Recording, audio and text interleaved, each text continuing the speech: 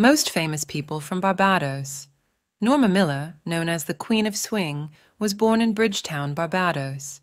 She became a renowned Lindy Hop dancer, choreographer, actress, author, and comedian. Rihanna, born in Barbados, is a globally recognized singer, actress, and businesswoman. She is also involved in humanitarian causes and is the founder of the non-profit organization Clara Lionel Foundation. Eva Henderson Mottley, the 24th of October 1953, the 14th of February 1985, was a Barbadian-born British actress. She played Bella O'Reilly in the television drama Widows and made one appearance as Corinne Tulsa in Only Fools and Horses. Cynthia Wilson, born 1934, is a Barbadian educator, performer, and writer. 20th century Barbadian women writers, 20th century Barbadian writers, 21st century Barbadian writers.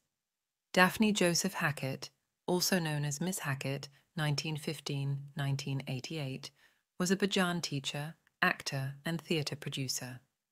Her contributions to the development of the arts in Barbados were recognized with the Order of Barbados's Silver Service Star. Lena Hall, a Barbadian model, gained international recognition after being approached by an agent in Barbados. She actively participates in charity work. Shontelle Layne, known as Shontelle, is a Barbadian singer-songwriter.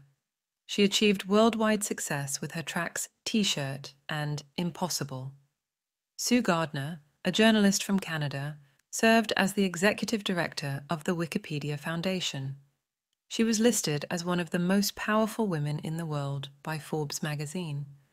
These are just a few of the many talented and beautiful Barbadian actresses who have made their mark in the entertainment industry. Each of them brings their unique talent and charisma to the screen, captivating audiences worldwide.